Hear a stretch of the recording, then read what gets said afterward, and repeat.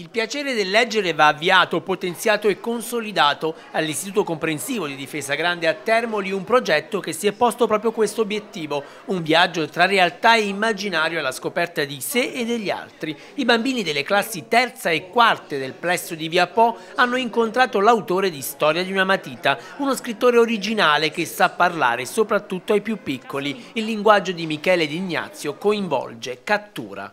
Con Storia di una matita ho voluto parlare di sogni, quindi dell'importanza di sognare, di avere dei sogni. Lapo sogna di diventare un bravissimo disegnatore, insomma, che fa le copertine dei libri, che illustra i fumetti, che eh, fa le mostre nei, nei, nei, nei musei, però ho voluto anche raccontare di come poi anche inseguendo un sogno bisogna trovare un, uh, un equilibrio e quindi diciamo che con la, con la, matita ho potuto giocare tantissimo di, di, metafore ed è bello scoprire ogni volta che appunto i bambini riescono a cogliere tutti, tutte queste metafore, anzi a volte molto molto di più rispetto a quello che volevo raccontare io.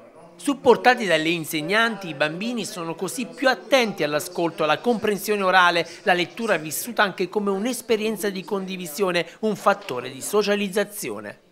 L'evento eh, nasce mh, principalmente per appassionare i bambini alla lettura. Eh, avevo letto, conoscevo questo libro e mi sembrava Storia di una matita, mi sembrava appropriato eh, per eh, far ehm, incuriosire i bambini e eh, appassionare alla lettura e attraverso questo, eh, questo libro noi siamo riusciti a far venire fuori le emozioni dei bambini e i sogni dei bambini. Hanno realizzato infatti eh, vari cartelloni eh, sulle emozioni e sui loro mh, sogni.